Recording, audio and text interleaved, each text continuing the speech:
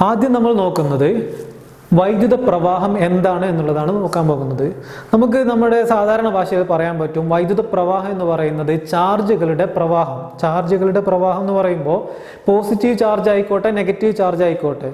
ഈ ഒരു ചാർജ് ഏതെങ്കിലും ഒരു മാധ്യമത്തിൽ കൂടി ഏതെങ്കിലും ഒരു മീഡിയത്തിൽ കൂടി പ്രവഹിക്കുന്നുണ്ടെങ്കിൽ അല്ലെങ്കിൽ ചലിക്കുന്നുണ്ടെങ്കിൽ അതിനെ നമ്മൾ വൈദ്യുത പ്രവാഹം എന്ന് പറയും.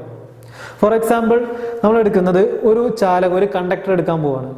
സാധാരണ ഒരു കണ്ടക്ടറുകളിൽ മൂവ് ചെയ്യുന്നത് നെഗറ്റീവ് ചാർജുകളായിട്ടുള്ള ഇലക്ട്രോണുകളാണ് ഈ ഇലക്ട്രോണുകളെയാണ് നമ്മളിവിടെ കാണിച്ചിരിക്കുന്നത്. ഈ ഒരു ചാലകത്തിൽ കൂടി ഇലക്ട്രോണുകളാണ് പോകുന്നത്. ഇനി നമ്മൾ പറയാൻ പോകുന്നത് വൈദ്യുത പ്രവാഹം എന്താണെന്ന് പറയാൻ പോവാണ്. ഇവിടെ കാണിച്ചിട്ടുള്ള ഈ ഒരു പ്രത്യേക സ്ഥലം ഞാൻ എടുക്കുകയാണ്.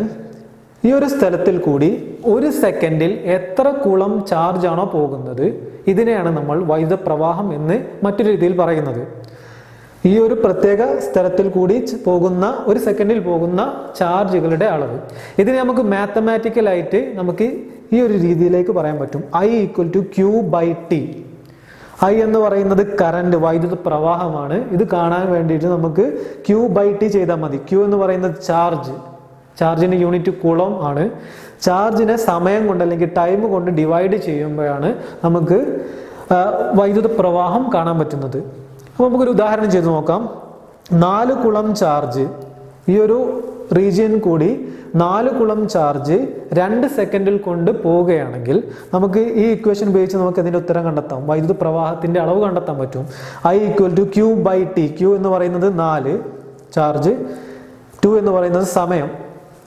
Okay four by two two ampere ampere ആണ് നമ്മളുടെ വൈദ്യുത പ്രവാഹത്തിന്റെ യൂണിറ്റ് ആയി വരുന്നത്. എങ്ങനെയാണ് നമ്മൾ വൈദ്യുത പ്രവാഹം കണ്ടെത്തുന്നത്?